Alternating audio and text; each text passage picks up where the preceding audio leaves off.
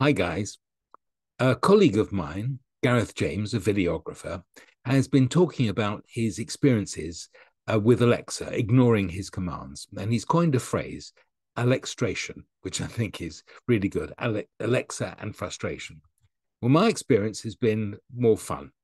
Um, I am a Star Trek fan, and there was a captain called Jean Luc Picard who, when he enters his ready room, says, Earl Grey tea, hot, and the replicators create what he wants.